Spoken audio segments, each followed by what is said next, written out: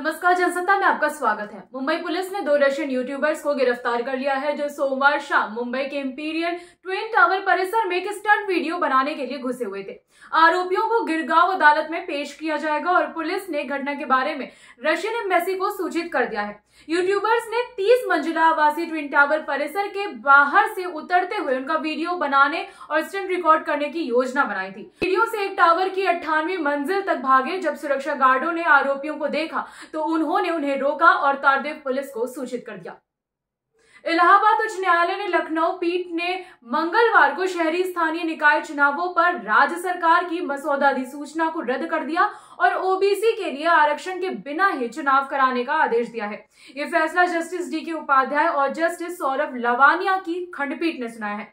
मुख्यमंत्री योगी आदित्यनाथ ने इस मामले को लेकर एक ट्वीट किया है। योगी आदित्यनाथ ने कहा है कि उत्तर प्रदेश सरकार नगरीय निकाय सामान्य निर्वाचन के परिप्रेक्ष्य में एक आयोग गठित कर ट्रिपल टेस्ट के आधार पर अन्य पिछड़ा वर्ग के नागरिकों को आरक्षण की सुविधा उपलब्ध करवाएगी। इसके बाद ही नगरीय निकाय सामान्य निर्वाचन को संपन्न किया जाएगा। इसके साथ ही मुख्यमंत्री योगी आदित्यनाथ ने कहा कि ज़रूरत हुई तो सरकार मामले को लेकर सुप्रीम कोर्ट भी, सुप्रीम कोर्ट का भी रुख कर सकती है। टीवी एक्ट्रेस तुनिशा शर्मा का अंतिम संस्कार मंगलवार शाम को मुंबई के भायंदर पूर्व में गोरदेव शमशान घाट शमशान घाट भूमि में किया गया। एक्ट्रेस के अंतिम संस्कार में उनके परिवार के लोग शामिल हुए। अंतिम संस्कार में शीजान खान की बहन और माँ को भी देखा गया। इसके अलावा एक्ट्रेस दीपिका सिंह, विशाल जेठवा, अब्बास मस्तान, अशनूर कौर भी अंतिम संस्कार में पहुँचे थे। टीवी शो अली बाबा दास्ताए काबुल में एक्ट्रेस तुनिशा शर्मा ने 24 दिसंबर को अपने शूटिंग सेट पर ही फांसी लगाकर खुदकुशी कर ली थी। को एक्टर और एक्स बॉयफ्रेंड शिजान खान को इस मामले में गिरफ़्तार करके पूछताछ की जा रही है। खुदकुशी के बाद कोई भी सुसाइड नोट फ़िलहाल नहीं मिला है। तुनिशा की माँ ने शिजान के खिलाफ एफआईआर दर्ज करवाई है और एक्टर पर आत्महत्या के लिए उकसाने का आरोप भी लगाया है। शनिवार को उनकी मौत से पंद्रह दिन पहले कथित तौर पर दोनों का ब्रेकअप हो गया था।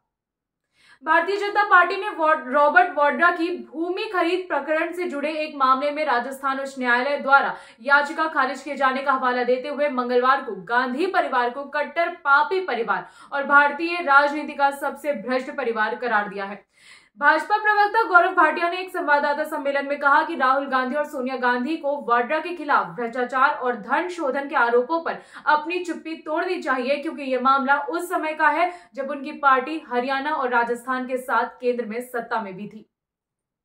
नरेंद्र मोदी, प्रधानमंत्री नरेंद्र मोदी के भाई प्रहलाद मोदी मंगलवार दोपहर करीब दो बजे कर्नाटक के मैसूर के पास एक कार दुर्घटना में घायल हो गए। मीडिया रिपोर्ट्स के मुताबिक वो अपनी पत्नी, बेटे, बहू और पोते के साथ मर्सिडीज बेंच कार में बांदीपुरा जा रहे थे।